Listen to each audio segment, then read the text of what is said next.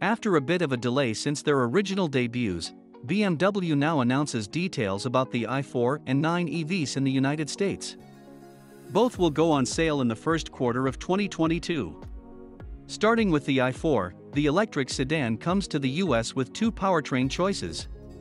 The eDrive 40 is rear-wheel drive and makes 335 horsepower and 317 pound-feet of torque.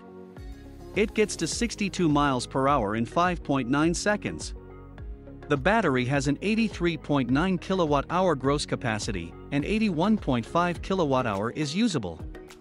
BMW estimates a driving range of 300 miles or 483 kilometers. The other layout is the all-wheel drive M50. It gets an electric motor on each axle with a total output of 536 horsepower. BMW isn't releasing the torque figure yet. The sedan hits 62 miles per hour in 3.9 seconds. This model uses the same battery as the eDrive 40, and the estimated range falls to 245 miles or 394 kilometers. The i4 can recharge on a level 2 wall box through AC power at 11 kilowatts, which can top up the battery to 100% in 8 hours.